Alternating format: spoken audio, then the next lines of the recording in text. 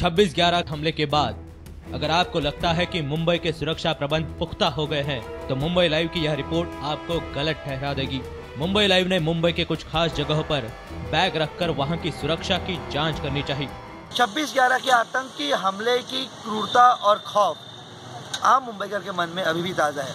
इस वक्त मुंबई लाइव की टीम मुंबई के ऐसी जगह पर है जो रिहायशी इलाका भी है, जिस इलाके से शिवसेना भवन शिवाजी मंदिर और यशवंत नाट्य मंदिर बिल्कुल समान दूरी पर है। इस इलाके में सीसीटीवी कैमरे भी लगे हुए हैं। जानने की कोशिश करते हैं, सुरक्षा कितनी चुस्त और दुरुस्त है।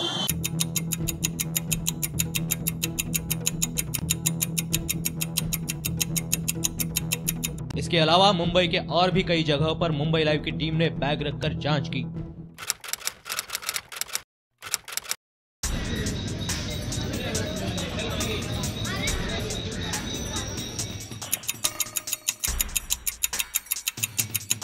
बांद्रा स्टेशन पर रखी बैग करीब आधे घंटे तक।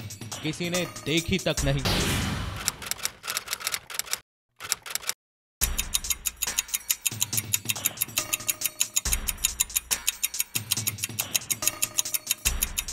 तकरीबन 40 मिनट तक पड़े बैग पर।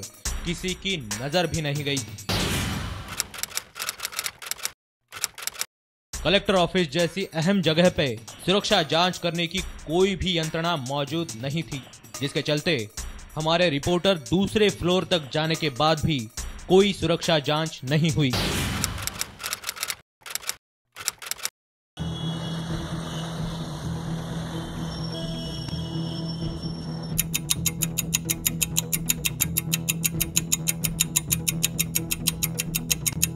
दादर प्लाजा जैसे भीड़ भाड़ वाले इलाके में ये बैग किसने रखा, ये जानने की किसी ने कोशिश भी नहीं की। आइए अब आपको दिखाते हैं कुछ ऐसा, जिसे देखकर आपको थोड़ा सुकून मिलेगा।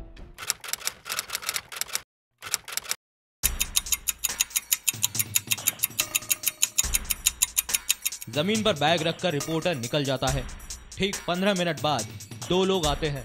और लकड़ी से बैग को उलटते पलटते हैं और कंट्रोल रूम को फ़ोन करते हैं। मुंबई लाइव की इस रिपोर्ट का मकसद आपको डराना कतई नहीं था। हम बस जानना चाहते थे कि आठ साल के बाद हम और प्रशासन सुरक्षा को लेकर कितने जागरूक है। मुंबई लाइव की आपसे अपील है कि आपके आसपास क्या चल रहा है, उस पर ज़रूर गौर करें।